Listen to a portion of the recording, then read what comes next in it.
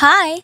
For today we are back again to our quick and easy video tutorial on how to see Instagram suggested friends. So with no further ado, let's start.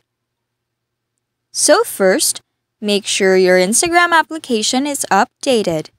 If it's not yet updated, then go to your App Store and update it. Now, open your Instagram application. So the first option I'll show you is that you can see your suggested friends in your profile. So tap your profile icon on the bottom right corner. Here, you will see this suggested friends here if your account is new. But if you don't have this, then tap this following here. And just below the account that you are following, you will see the suggested friends for you. So now, go back and tap followers.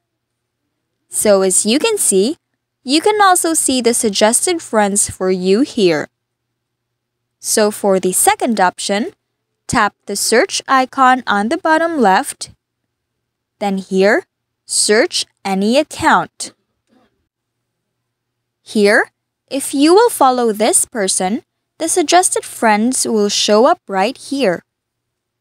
And that's how you see your suggested friends on Instagram. And now we are done with our tutorial. Let us know in the comment section down below if this video helped you. For more video tutorials like this, subscribe to our channel and click on the notification bell. Thank you for watching!